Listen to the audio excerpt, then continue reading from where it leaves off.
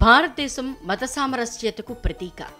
విభిన్న మతాలకు చెందిన వ్యక్తులు శాంతియుతంగా జీవించే ప్రాంతం. మతాలు వేరైనా మనుషులు ఒక్కటే అని ప్రపంచానికి చాటి చెప్పిన దేశం. ముస్లిం సోదరులు హిందువుల ఉత్సవాల్లో పాల్పంచుకున్న ఎన్నో సంఘటనలు ఉన్నాయి.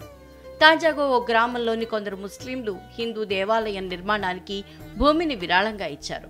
మత సామరస్యం అంటే ఇదేనంటూ చాటి చెప్పారు. ఈ ఘటన తమిళనాడులో చోటు చేసుకుంది. తమిళనాడు తిరుప్పూరు జిల్లాలో ఒట్టెపాళియం రోజ్ గార్డెన్ ప్రాంతంలో హిందూ ముస్లిం వర్గాలకు చెందిన మూడు వందల కుటుంబాలు నివాసం ఉంటున్నాయి. ఇక్కడ మసీదు ఉన్న హిందువులకు ఆలయం లేదు.